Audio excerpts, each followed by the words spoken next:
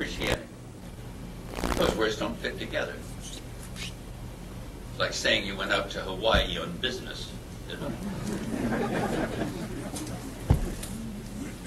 Those who face the reality of Calvary can no longer live for selfish pleasure.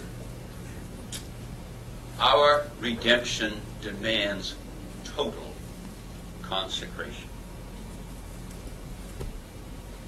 What do you think would happen if believers really came into the reality?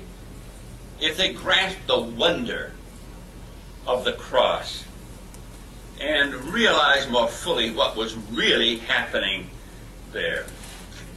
I tell you, they would become overwhelmed by the dimensions of their redemption and they would become compulsive worshippers. They would go around and talk about the Lord to anyone who would be willing to listen, day after day. This is what would happen.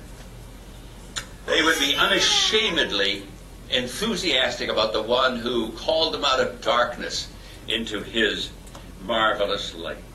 Worldly ambitions would perish as they gave themselves without reserve to Christ and to his service. I said to a young man, a friend of mine out there on the West Coast recently, Jeff, if people really believe the truth of what happened at Calvary, what would happen? He said to me, the world would be evangelized. But that's true. An unevangelized world is testimony to the fact that the church has lost the wonder the church has lost the wonder. The world takes it all rather matter of factly, as you know. The death of the Lord Jesus on the cross at Calvary doesn't impact us the way it should. In fact, we may be so conceited that we might think it was a jolly good thing for him to do for us anyway. That maybe it was the proper thing, after all, for him to do it. Such vain conceit. But you know, every once in a while, a shaft of light does break through the darkness on some man or woman, some young man or woman, where a believer stands before the cross and prays, Oh, make me understand it. Help me to take it in what it meant to thee, the Holy One, to bear away my sin. And God hears that prayer in heaven, and he looks down on that dear person. And that person's life is never the same again. Never the same again. He goes forth, and people think he's lost his mind. He has, but he's found the mind of Christ. They think he's beside himself, but he is. He's is for God. They think he's out of step, but they don't realize he's marching to the drumbeat of a different drummer. As the significance of what happened at Calvary dawns upon him, he stands there before the cross and he says, I've seen the vision. And for self I cannot live. Life is worse than worthless unless all I give. People like that can never be satisfied again with a bland Christian life. They, they determine that they will never lower themselves again to the chill of their environment, which incidentally, friends, is a very easy thing to do. To lower yourself to the chill your environment. They realize that the Christianity that they see around them today is not the Christianity of the Bible. A new drive takes hold of them and it consumes their waking hours. And they don't want anything to come between their souls and total commitment to the Lord Jesus Christ. What is it that has made these people so different? Well, I'd like to suggest to you four things. Four things. First of all, they've seen who Jesus really is. Secondly, they've seen what he did for them. Thirdly, they've had a tremendous revelation of who we are, the ones for whom the Savior died. And finally, they, they think of the tremendous blessings that have flowed, have flowed to us from the cross of Calvary. And we want to, we want to consider these life-changing truths this evening. Who the Lord Jesus is. What he did. The people for whom he did it. And the blessings that have flowed to us as a result of that wonderful work. Who the Lord Jesus is. Leave him out, and I tell you, there's no meaning to life at all. Life is a sick joke without Jesus. It really is. He's the hub of history, the fountain of satisfaction, and he's the embodiment of reality, the central fact of life. Who is he? He's unique. The virgin born son of Mary. He was unique from the very outset. Others are born to live. He was born to die. Usually, when a baby is born into the world, there's great joy. When he was born into the world, the king was troubled, and all the people of Jerusalem were troubled uh, with too. Throughout his life, people were either for him or against him. There was no middle ground. He's unique, but he's more than that. He's true man. He's true man. He was human. He grew hungry, thirsty, and weary. To his contemporaries, he seemed quite normal in physical appearance. Uh, he was one of us. In his 20s, he was a carpenter in Nazareth. In uh, his 30s, the early 30s, he was an itinerant teacher going around uh, preaching, teaching, and healing. And no one had any reason to doubt his true humanity. But he was more than that. He was sinless man. He was sinless man. There was something that distinguished his humanity from all others and that is that it was sinless. Just think of it. There was once a man who walked the streets of this earth who was absolutely free from sin. Hard to take in, isn't it? Never an evil thought, never uh, a bad motive or a sinful act in that wonderful life. Tempted from without, he was never tempted from within was not possible for him to sin. He said, I always do those things that please my Father. Well, that precluded sin, didn't it? If he always did those things that pleased his Father, that left no room uh, for sin. I'm intrigued by the fact that even people who didn't particularly claim to be his friends had to acknowledge that he was without sin.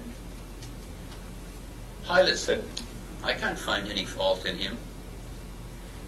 Pilate's wife said, Have thou nothing to do with this just person? Herod said, I don't see that there's anything worthy of death in him. The dying thief said, This man has done nothing amiss. And Judas himself confessed that he had betrayed the innocent blood. yes, the Lord Jesus is unique. He's truly human, and he's sinlessly human. But that's not all. We never can comprehend a fraction of the magnitude of the meaning of Calvary until we remember he's God.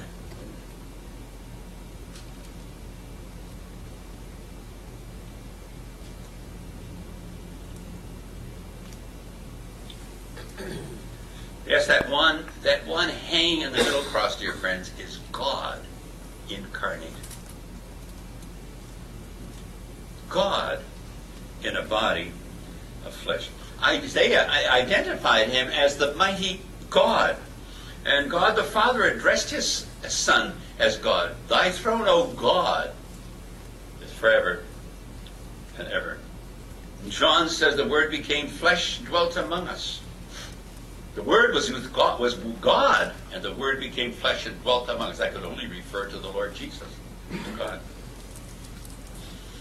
And the Lord Jesus himself insisted that everyone should honor him as they honor the Father, which means that he's God. He's equal with God in every respect. Over 100 scriptures leave no room for argument.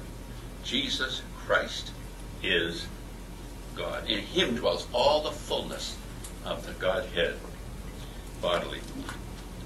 You know, John Wesley really caught the wonder of the incarnation when he wrote, Our God contracted to a span, incomprehensibly made man. What's a span? The difference between your thumb and your little finger there. Our God contracted to a span, incomprehensibly made man. And William Billings, who was a tanner and a musical amateur by trade, he wrote, Come see your God extended in the straw. Another poet, now unknown, said, Lo, within a manger lies he who built the starry skies. And yet another anonymous author penned these words Lo, cold on the cradle the dewdrops are falling. Low lies his head with the beasts of the stall. Angels adore him in slumber recalling, Maker and monarch, Savior of all. I like that British uh, hymn writer who wrote down from his glory, ever living story, my God and Savior came, and Jesus is his name. My God and Savior came. Dear friends, the young Jew of Nazareth was the Ancient of Days. It was God the Son who wore that carpenter's apron amid all the sawdust of that shop in Nazareth.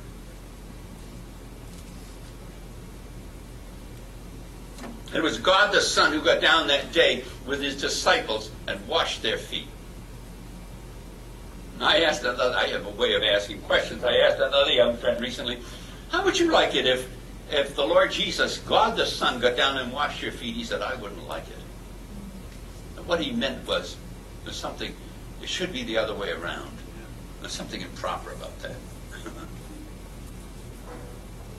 he said, I wouldn't like it. I knew just exactly uh, what he meant. It was the Son of God who created optic nerves for that man in John chapter 9 who was blind from birth.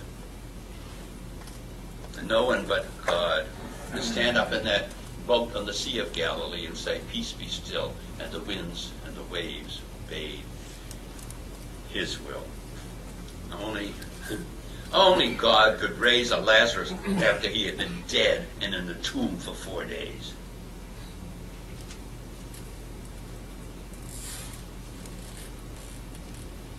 I don't think we can comprehend uh, the meaning of Calvary until we see that the one who hung there was the one who stretches out the heavens, lays the foundations of the earth, and forms the spirit of man within it.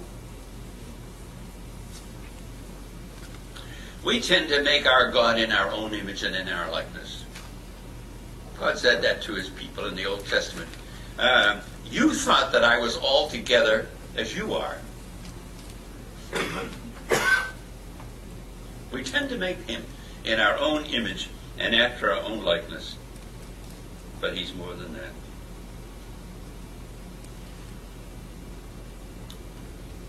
That's who he is. Think of what he did uh, for us. And I want to tell you, dear friends, if we stop to think tonight of what he really did for us, we'll be just crushed with sensory overload. The death of God incarnate on the cross of Calvary is enough to stagger the imagination. We have been died for. If we had just been died for by another person, that would be the that would be the cause for endless gratitude, wouldn't it? The difference your God died for you. I know I feel some of you are saying doctrinal heresy creeping in here. Be patient.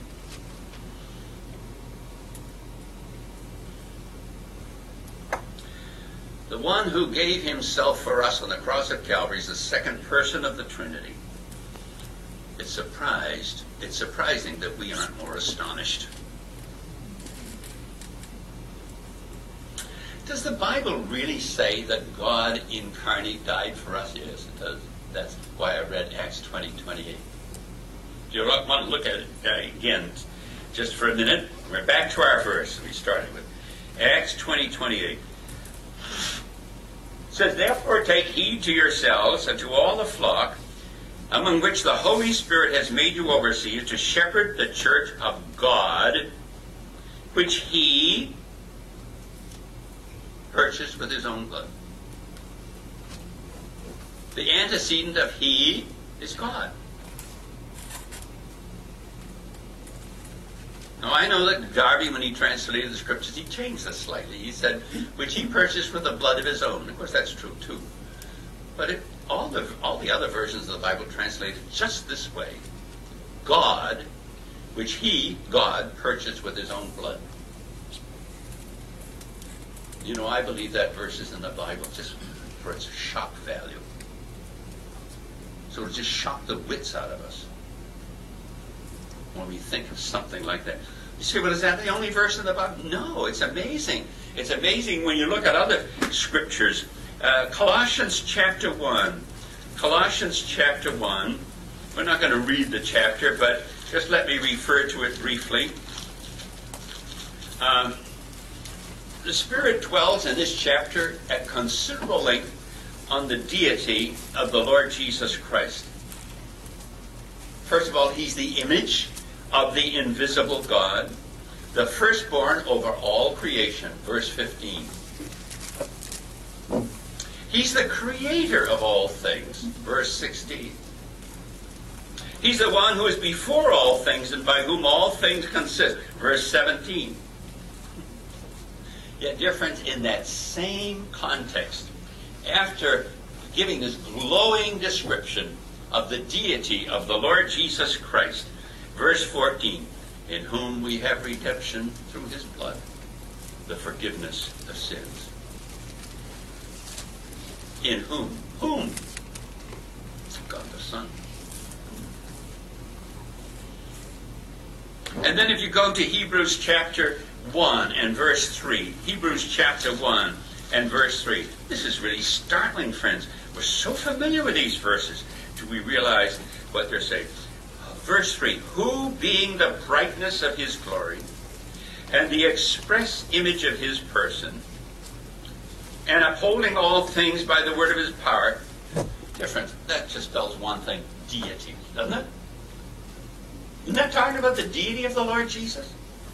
Who, being the brightness of his glory, the express image of his person. That doesn't mean he was like God, it means he was God upholding all things by the word of his power. Listen to the next part of the verse. When he had by himself purged our sins. Who? Brightness of his glory. The express image of his person. The upholder of all things by the word of his power. When he had by himself purged our sins, sat down at the right hand of the majesty on high. I think that's marvelous.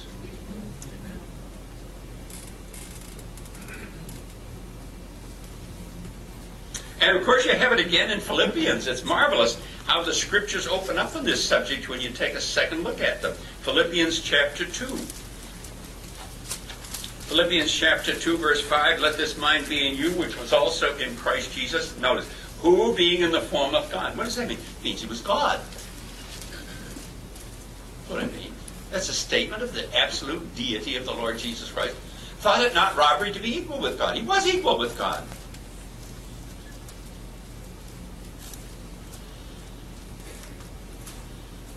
And in that same context, after giving this description of the total deity of the Lord Jesus Christ, Paul writes in verse 8, Being found in appearance as a man, he humbled himself and became obedient to the point of death, even the death of the cross. Dear friends, in some religions, men and women die for their God. But I never heard of another religion where their God dies for his creatures. Have you?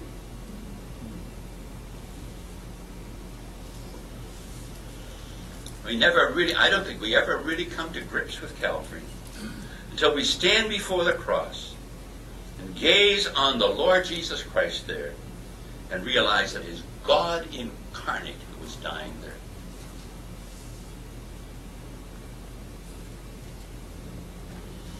Of course, this raises questions. I know they're in your mind already. You say, well, can God die? Well, say God is um, God is spirit, and spirit doesn't have flesh and blood. And we read that God purchased the church with his blood. Spirit doesn't have flesh and blood. No, but the incarnation solves that problem, where God came down and veiled his Godhead in a body of flesh. Aside he threw his most divine array and veiled his Godhead in a garb of clay. And in that garb this wondrous love display, restoring what he never took away. But somebody will say to me, but Brother MacDonald, God is immortal. And immortal means not subject to death. And that's true, God is immortal. And he's not subject to death. But in the incarnation, the Lord Jesus made himself subject to death. That's why he took on a human body, so that as man he might die for you and me. Jesus was made a little lower than the angels for the sufferings of death, that he by the grace of God might taste death for every one. The Lord Jesus is not God minus something, he's God plus something. But that something is humanity.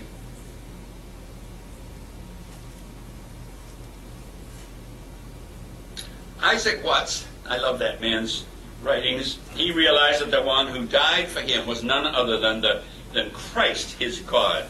He said, Forbid it, Lord, that I should boast save in the death of Christ my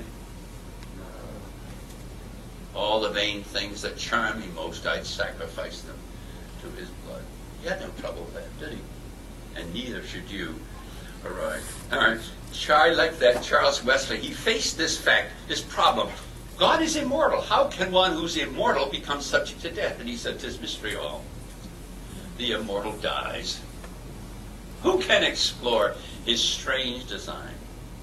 In vain the firstborn seraph tries to plumb the depths of love divine. But the mystery didn't deter Charles Wesley because he went on to say, and dear friends, you sing it all the time, amazing love. How can it be that thou, my God, shouldst die? Right? And you know, we can sing it and not gasp.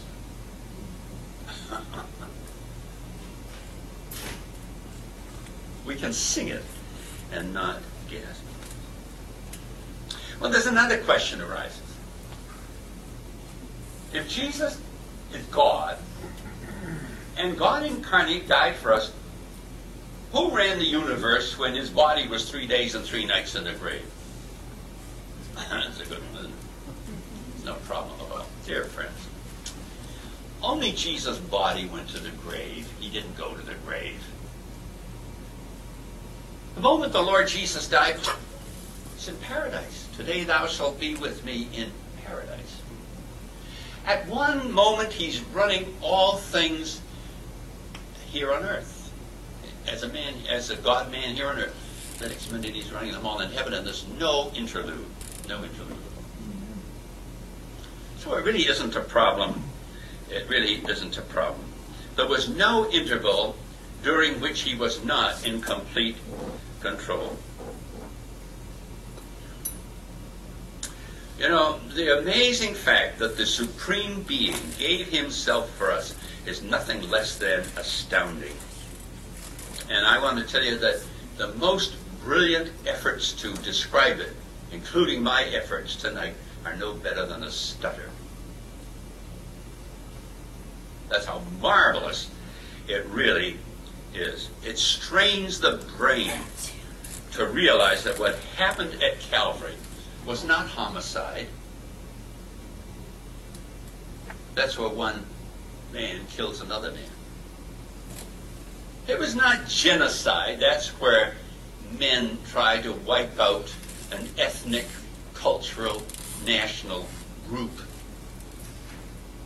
Dear friends, the death of the Lord Jesus on the cross of Calvary was deicide, the murder of God. You have taken, Peter said, and by cruel hands have crucified and slain.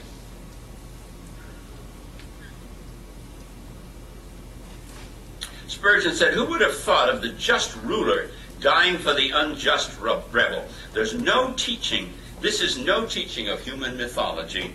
The Son of God loved me and gave himself for me, and yet he said we can say that and either gasp or weep.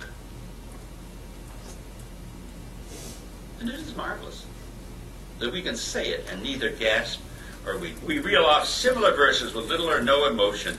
We preach this truth so blandly and matter of factly that it doesn't bring our listeners to their knees. Hmm? God help us for much of the preaching that goes on today in the shadow of Calvary. We're guilty of what someone called the curse of a dry-eyed Christianity. Constantly, we need to come back to the awesome reality that the one who died on the cross of Calvary is Jesus, God incarnate. I think F.W. Pitt said it well when he wrote those memorable lines The maker of the universe, as man for man, was made a curse. The claims of law that he had made unto the uttermost he paid. His holy fingers made the bough which grew the thorns that crowned his brow. The nails that pierced his hands were mined in secret places he designed. He made the forest whence there sprung the tree on which his body hung. He died upon a cross of wood, yet made the hill on which it stood. The sky that darkened o'er his head by him above the earth was spread. The sun that hid from him its face by his decree was poised in space. The spear that spilled his precious blood was tempered in the fires of God. The grave in which his form was laid was hewn in rock his hands had made. The throne on which he now appears was his from everlasting years, and a new glory crowns his brow, and every knee to him shall bow. I want to tell you, dear friends, the marvel of the death of the one who through the farthest galaxies into space is just just strains the brain. That's all I can say. But it's true just the same. It's true just the same.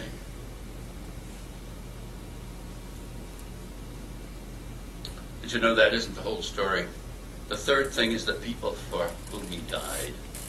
And I think we'll just wait till tomorrow morning and think about that. But tonight, before you go to bed, just think about this. Think of the marvel of the death of the Christ of God upon the cross of Calvary. Think of men taking him and putting him to death. And all the time they're doing it, their very lives depended on him for every minute that they were doing it. Their lives were dependent upon him. The breath that they took were dependent upon him. And yet he submitted to that. It was all for you and for me. Wonderful, wonderful Jesus. Dear friends, I hope that as a result of our little conference, if nothing else happens this week, that we'll go away with a deeper appreciation of what happened at Calvary. We kind of think, well, he died as a man, you know, we kind of soften the blow. But you can't divide the you can't divide the person of the Lord Jesus like that. You can't say, well, it was just as man he died. He's the God man. You can't separate those parts of him. It was Jesus, God incarnate, who died on Calvary's cross. Shall we pray?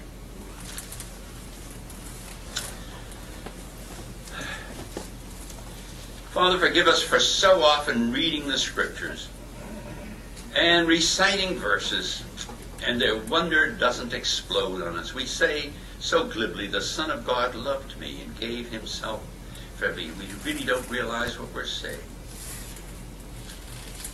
We really don't realize what we're saying. Lord, we would pray that prayer tonight. Oh, make me understand it. Help me to take it in. What it meant to thee, the Holy One, to bear away our sin. Help us to remember who you are. Not that you're just someone like ourselves, but you're the one to whom we owe every breath that we take. Write these truths deeply upon our hearts, we pray in the Savior's name.